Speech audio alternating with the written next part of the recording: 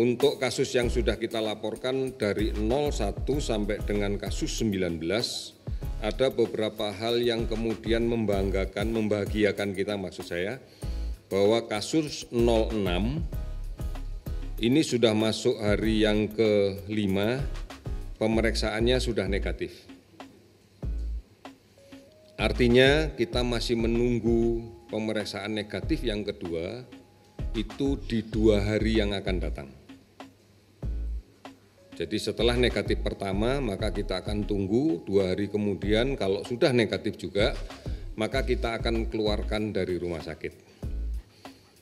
Kasus 06 ini adalah yang saya sampaikan di awal ABK Diamond Princess dan ini adalah imported case.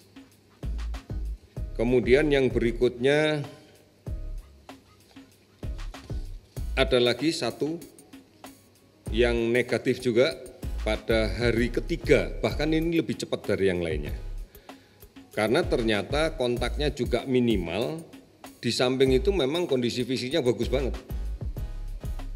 Kondisi fisiknya bagus banget. Dan kemudian kita yakini bahwa pada hari pertama perawatan itu sebenarnya bukan hari pertama sakit.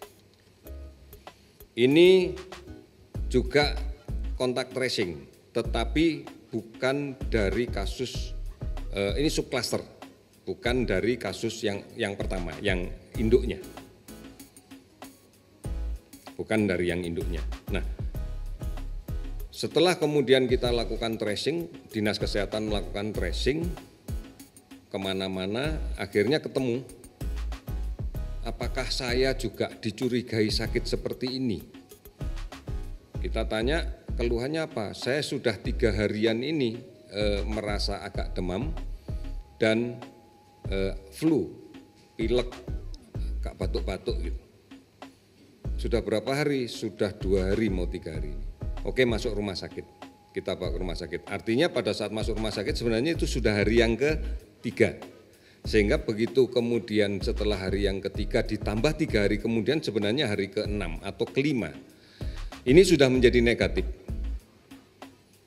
ini sudah menjadi negatif. Ini dari kontak yang kemarin dari eh, nomor kasus yang kita laporkan kemarin di nomor 14